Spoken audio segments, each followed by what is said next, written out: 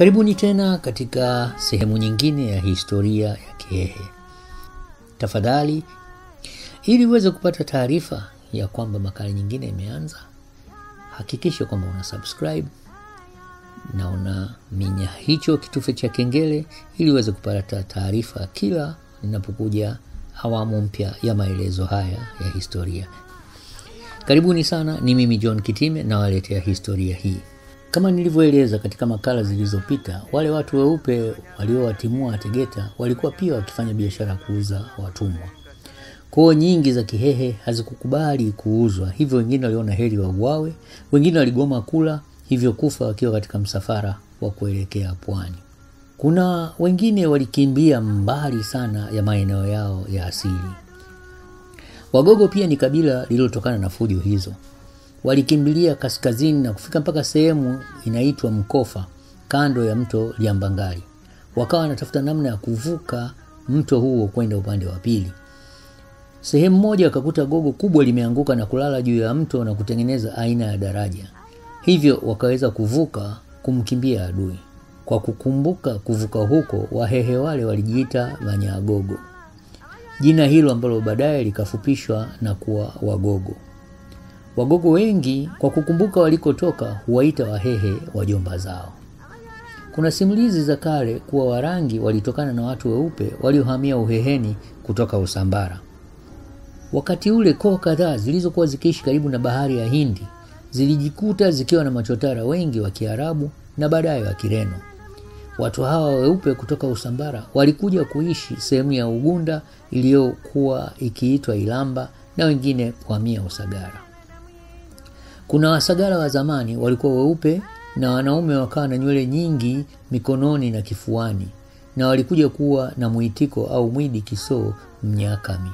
Inawezekana walikuwa na uhusiano na Wakami wa Uluguru.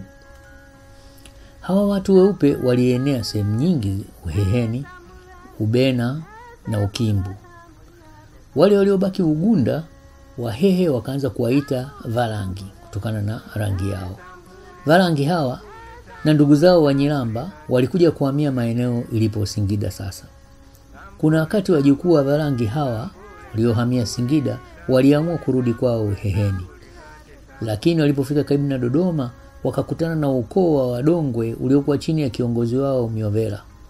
Vita kali ikaanza, wakashindwa na wakalazimika kukimbilia ilipo Kondoa sasa, na huko wakaishi na kuongezeka na kuwa kabila kubwa. Makundi mengine ya watu weupe yalisonga mbele mpaka ukimbo Kundi jingine likahamia sehemu za Ilembula, jingine likahamia kwa muda sehemu za Wasa, kisha kuelekea Malangali. Kundi hili ndio linalosemekana liliingiza kilimo cha kulima mahala penye majani na kwa kugeuza udongo na kutengeneza matuta kwa kufikia majani. Majani yale yaliachwa kwa muda ili yaoze na kisha ndipo mbegu upandwe. Kilimo hiki kilileta mazao mengi. Kilimo hiki kiliitwa Malongo na sehemu ile ya Malangali ikaitwa Ilongo. Wahehe huita mavuno mengi kuwa ni sanga. Katika sehemu ya Ilongo kukawa kuna kundi fulani la wakulima waliokuwa hodari wa kulima malongo, na hivyo wakawa wanapata mavuno mengi sana, wakaanza kuitwa Vanyasanga.